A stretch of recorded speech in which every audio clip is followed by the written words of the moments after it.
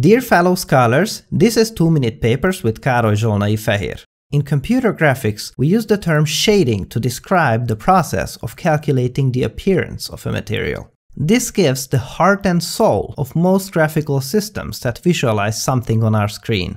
Let the blue sphere be the object to be shaded, and the red patch be the light source illuminating it. The question is, in this configuration, how should the blue sphere look in reality?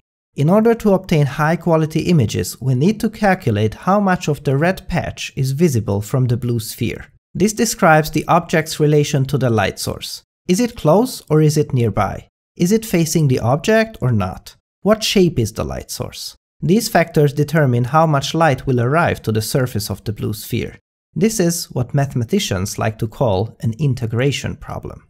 However, beyond this calculation, we also have to take into consideration the reflectance of the material that the blue sphere is made of. Whether we have a white wall surface or an orange makes a great deal of difference and throws a wrench in our already complex calculations. The final shading is the product of this visibility situation and the material properties of the sphere. Needless to say that the mathematical description of many materials can get extremely complex, which makes our calculations really time consuming. In this piece of work, a technique is proposed that can approximate these two factors in real time. The paper contains a very detailed demonstration of the difference between this and the analytical computations that give us the perfect results, but take extremely long.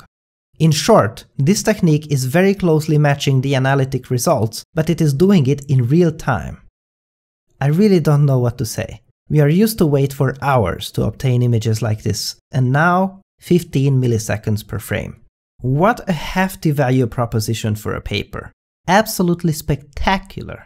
Some of the results really remind me of topological calculations. Topology is a subfield of mathematics that studies what properties of different shapes are preserved when these shapes are undergoing deformations.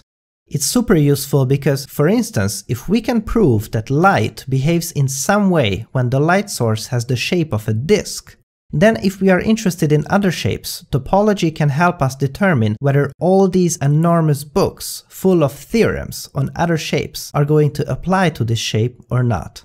It may be that we don't need to invent anything and can just use this vast existing knowledge base.